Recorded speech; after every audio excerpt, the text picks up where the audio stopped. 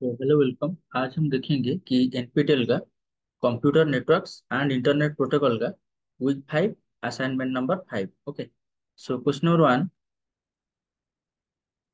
statement one क्या दिया हुआ है कि UDP is a wrapper of the IP layer okay and statement two क्या दिया हुआ है? TCP suitable for short message transfer where reliability is not a concern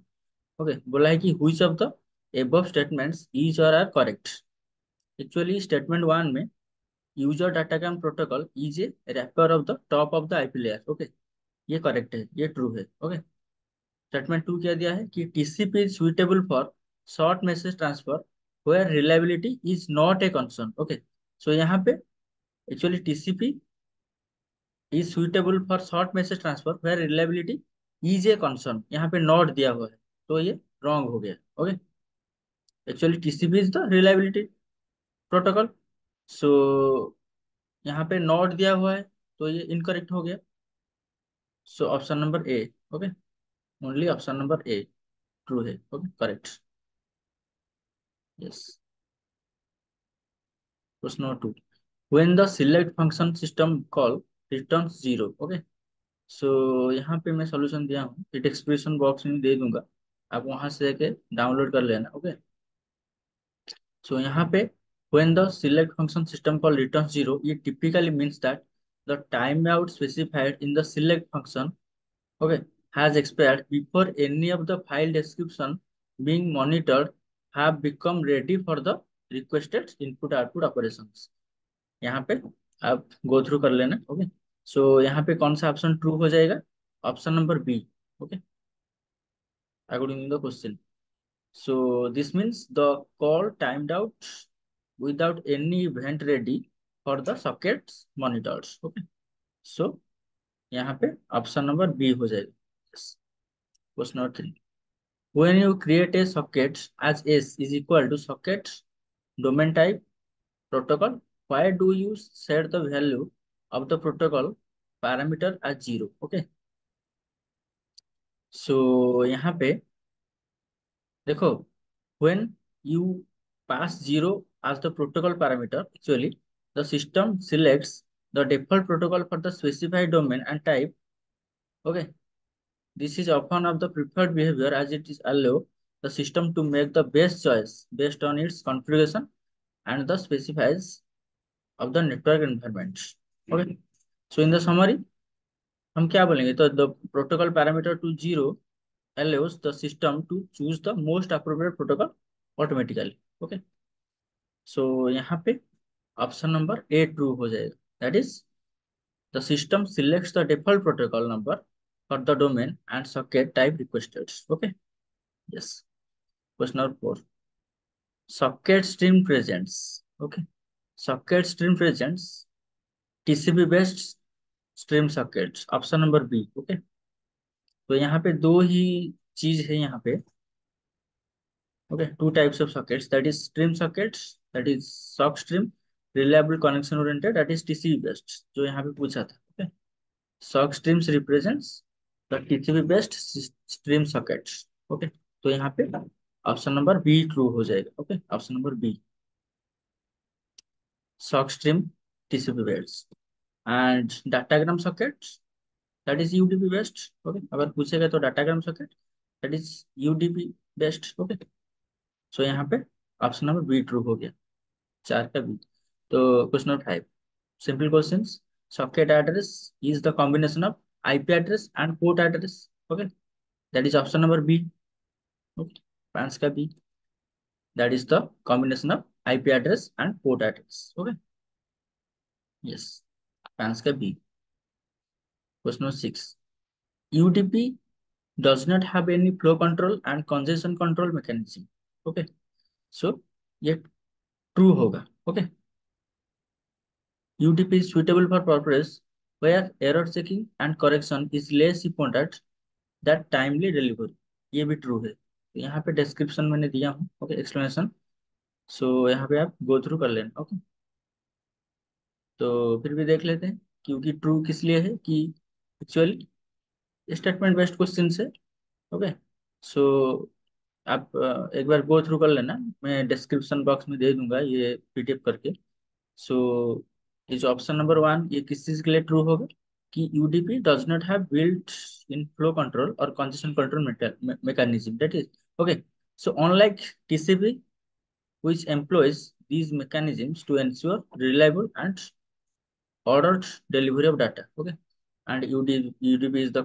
connectionless protocol that simply sends data without guaranteeing delivery or managing congestion okay and second statement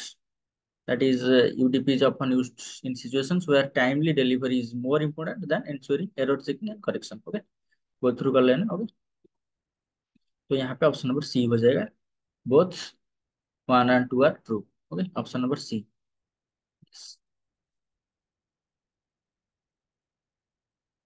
question number seven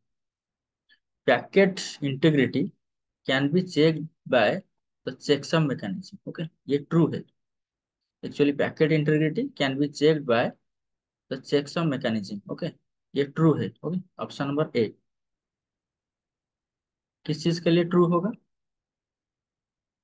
तो actually UTP uses a checksum mechanism to verify the integrity of the packets okay तो go through कर लेना। Okay true हो गया option number eight question number eight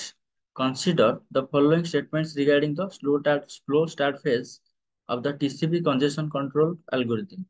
note that CWND stand for the TCP congestion window the CWND increases linearly after every round trip time till threshold okay यहाँ पे actually ये statement false हो जाएगा. Option number B क्यों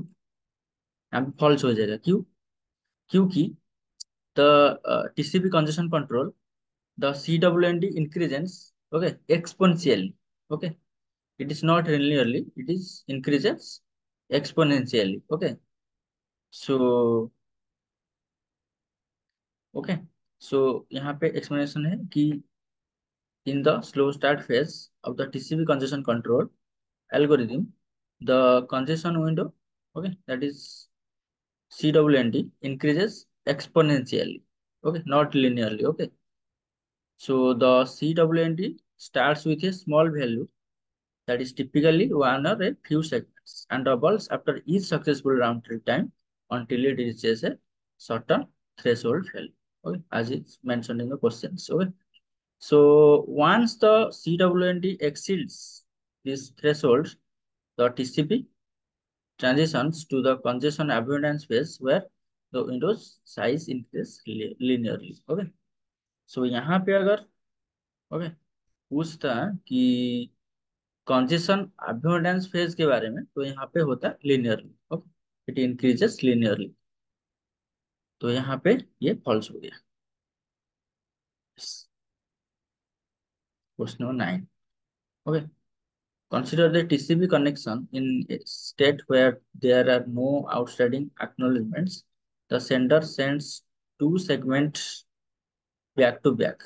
The sequence numbers of the first and second segments are 230 and 290 respectively.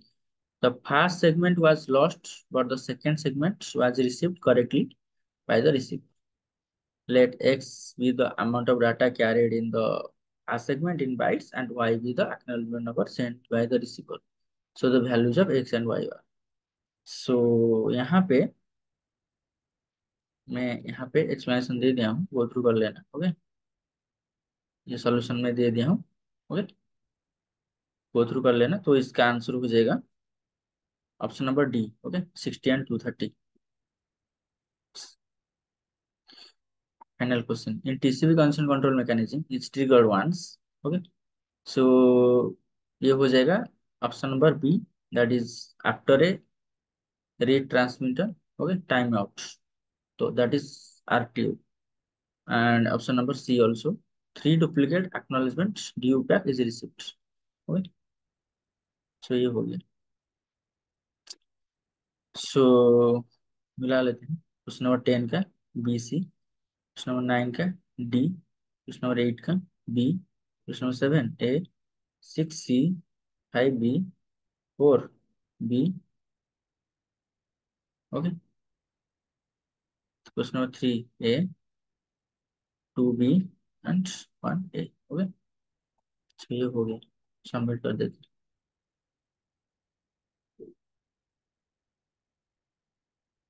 Yes, thank you.